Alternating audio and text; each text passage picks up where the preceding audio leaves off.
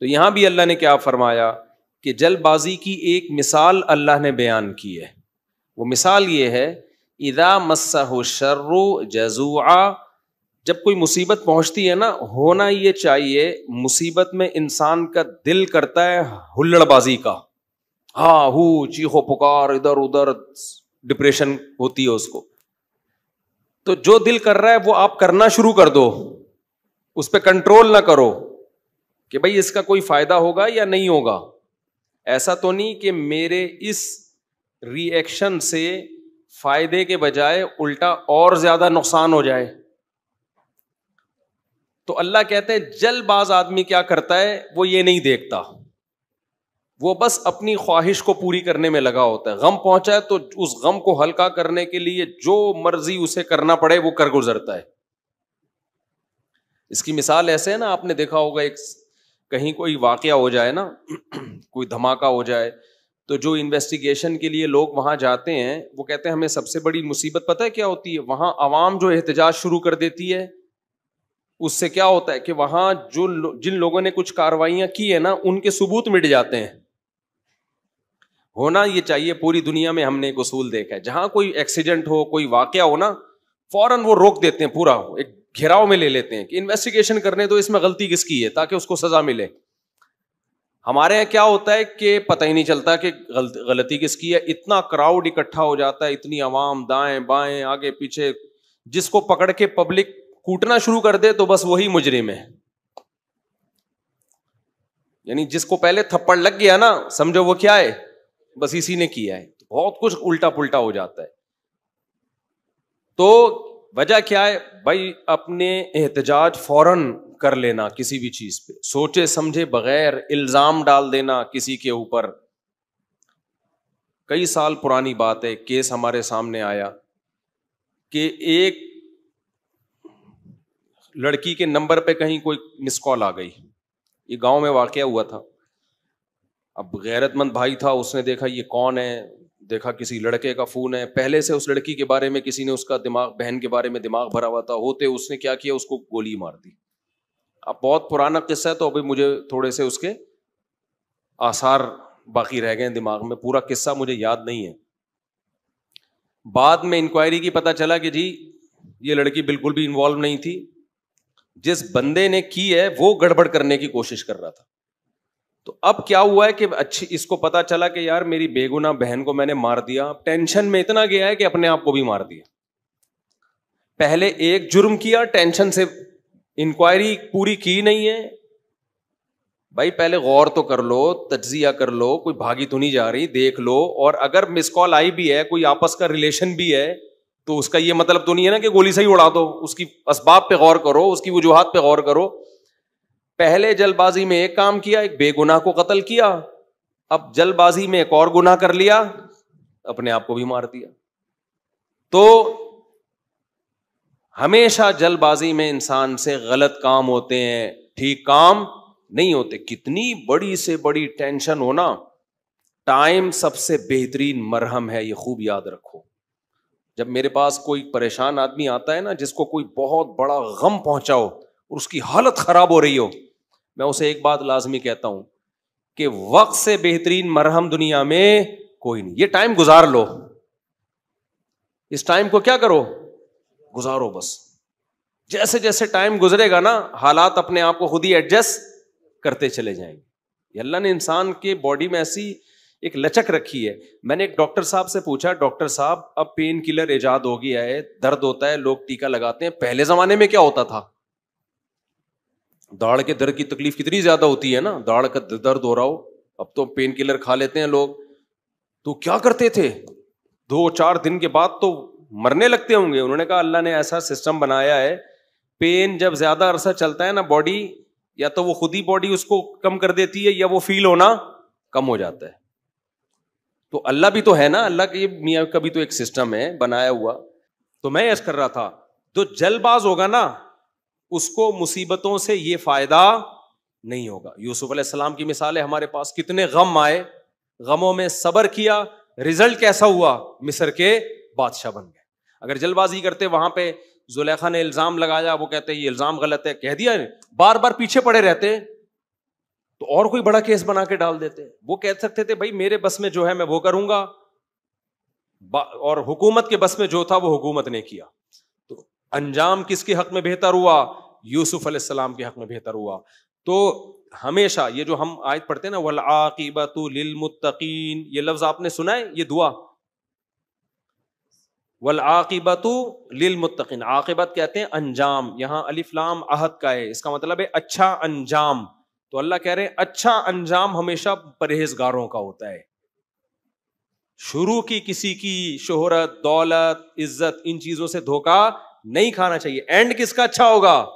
सबर करने वालों का, नेक लोगों का। एंड हमेशा उन्हीं का अच्छा होता है।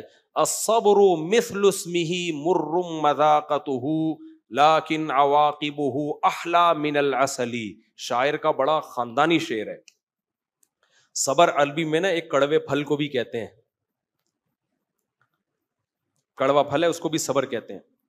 तो शायर ने कहा असबरु मिसलुस्मिही सबर जैसे कि उसका नाम बता रहा है, मुर्रुन मजाकत उसका जायका इंतहाई कड़वा, लाकिन अवाकिबहू, लेकिन इसका अंजाम जो है, अहला मिनल असली, शहद से भी ज़्यादा मीठा अंजाम होता है इसका।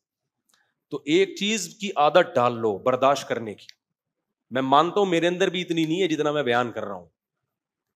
लेकिन यह सिफत बहुत अच्छी है, जिसके अंदर बर्दाश्त आ गई ना, कि एकदम हाइपर नहीं हो जाता। एकदम गुस्सा नहीं हो जाता। फ़ौरन किसी के बारे में तबसरा नहीं करता, ना अच्छा कहता है, ना बुरा कहता है। तो ये शख्स कामयाब है। दुनिया में भी और आखिरत में भी।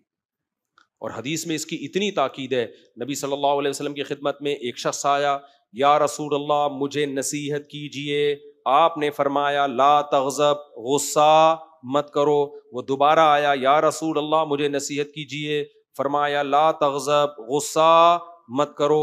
फिर आया, या रसूल अल्लाह नसीहत की फिर आए वो, या रसूल अल्लाह नसीहत कीजिए।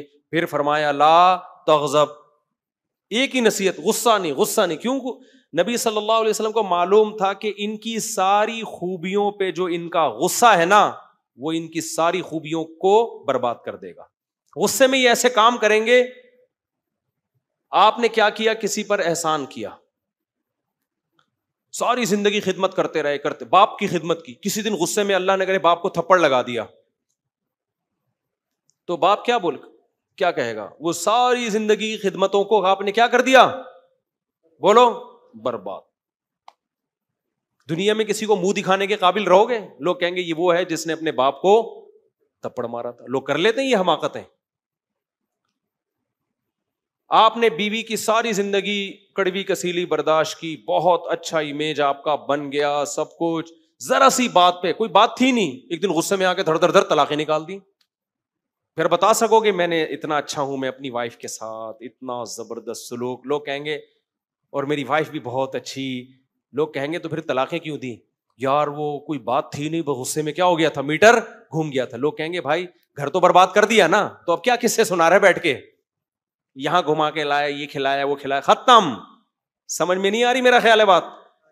तो गुस्सा क्या करता है? ऐसे जराइम करवा लेता है जलबाजी में। जलबाजी में ऐसे जराइम करवा लेता है कि आपकी सारी ज़िंदगी की नेकियों को, नेकियाँ चंद सेकंड में बर्बाद। यहाँ मैं एक और बात आपको बताऊँ। पहले मैं वो खातून का बता दूँ ना करेक्टरलेस मियाँ मार्केट में बहुत आ रहे हैं। कैरेक्टरलेस मियाँ क्योंकि आजकल बेहयाई बहुत है तो उससे ताल्लुक उससे ताल्लुक। ऐसी खातन को मैं कहता हूँ, भाई, पहले शोहर को कैसे समझाओ मोहब्बत से, फिर अगर बदमाशी हो सकती तो बदमाशी करो। फिर वो कहती बदमाशी ज़्यादा की तो छोड़ देगा। तो मैं कहता हूँ, ले लो तलाक, कहीं और शादी करो कहीं और रिश्ता नहीं आएगा। आजकल तलाक याफ्ता औरत का रिश्ता, बोलो, बहुत मुश्किल, बच्चे लेके कहाँ धक्के खाऊँगी? और फिर चलो जॉब वॉब करके अगर मुआशी लिहाज से कुछ कमा भी लिया तो सारी दुनिया को पता चलेगा शोहर लेस खातून है। वो बुरी नज़रें डालती हैं। कल जो आपका मियाँ कैरेक्टर लेस है, खतरा है कि औरत भी कैरेक्टर लेस ना बन जाए। क्या ख्याल है? तो ऐसे मौके फिर मैं क्या कहता हूँ? सबर करो। क्या करो भाई? उसको करने दो, उस गंद में जहाँ मुँह मार रहा है, मारने दो। अब हो सकता है कोई ज़ाहिर परस बोले, मुफ्ती साहब किस किस्म के मशवरे दे रहे हैं? भाई, हम मशवरे ये दे रहे हैं कि दुनिया में उसूल ये है कि बड़ी मुसीबत से बचने के लिए हमेशा छोटी मुसीबत को इख्तियार किया जाए। फिर मैं कहता हूँ, आपके साथ एटीट्यूड ठीक है, आपके हुकूक अदा कर रहा है। जो गंद में मुँह मार रहा है, मारने दो, अल्लाह खुद ही इंतकाम लेगा उससे। समझते हो कि नहीं समझते? वजह उसकी है कि भाई, अब आपके पास ना ताकत है ठीक करने की, ना मोहब्बत से ठीक हो रहा है, और आप उससे अलहदगी भी नहीं ले सकती, क्योंकि लिए तो उसके साइड इफ़ेक्ट ज़्यादा है तो छोड़ दो बस अपने हाल। फिर बार बार टेंशन, ये कर रहा है, मेरा मियाँ ये कर रहा है, इससे कुछ भी हासिल होने वाला नहीं है। छोड़ दो उस खबीस को अपने हाल पे। फिर मैं उनसे कहता हूँ थोड़ा सा बुढ़ा होने दो इसको। बुढ़ा होने दो। फिर देखो ये जिनके पीछे भाग रहे हैं ना, कोई भी इसको लिख और ऐसे हुए हैं बाकियात।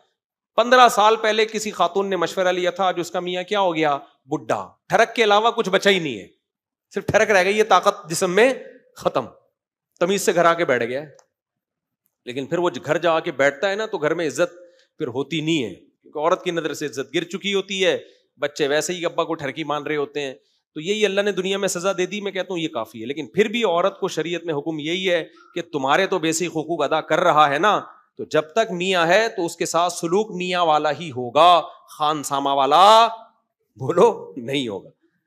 क्योंकि अकरहुल कुफर फिल इस्लाम जो हदीस में आता है ना कि औरत का शोहर भी हो और वो उसकी नाफरमानी भी करे, ऐसा नहीं है। तो आपको उसके हुकूक अदा करने हैं। औरत को मैं कहता हूँ, आपको उसके जायज़ हुकूक अदा करने हैं, क्योंकि आपको तो वो सहूलतें मिली भी है ना मियाँ से। तो जो उसके हुकूक है, वो आपने बहरहाल देने देने समझते हो गए नहीं समझते हो?